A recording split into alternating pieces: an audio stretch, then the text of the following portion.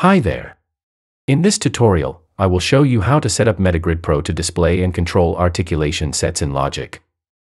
For simplicity's sake, I assume you have already worked with both PlugSearch and Metagrid and know the basics of both apps. I also assume that you already have installed the software. If you're all new to this, there are a lot of videos on both the Metasystem and Speakerfood websites that you can watch to learn more about the basics.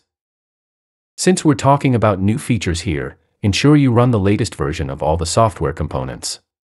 This also includes the Meta Server app. You can find download links in the descriptions below the video. Alright, let's get started. I'm going to set up Metagrid. I create a new grid and exit the dialog. Then I press Edit. Followed by Layout. Select all the cells. Press Clear. Select all cells again. And press Merge. Now I select the new giant cell. Press Add. And choose the Art Conductor object from the menu. I think that was pretty easy. Now we're setting up PlugSearch. First, click the PlugSearch icon in the menu bar on the right. If you don't see PlugSearch there, you might need to launch it first. The app is located in the Applications directory. Then, open the Preferences.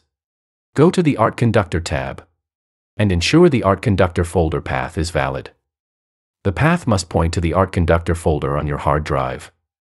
Connect to Metagrid Art Conductor needs to be on. MIDI Remote should be enabled as well.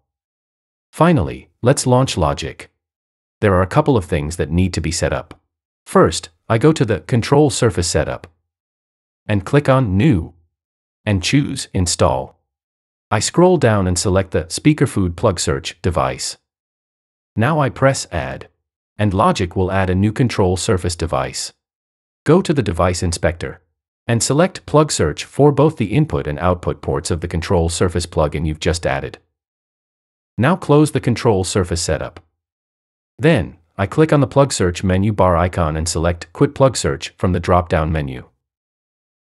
Once Plug Search has shut down, I open Spotlight, search for the app, and relaunch it. And you're all set. You can create a new Logic project and run some tests. Create a couple of instrument tracks.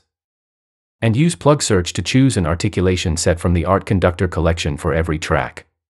I'm sure you want to know more about how you work with Metagrid to control articulations. We have a walkthrough video I'd like to recommend to you. Thanks for watching. And don't forget to subscribe to this channel.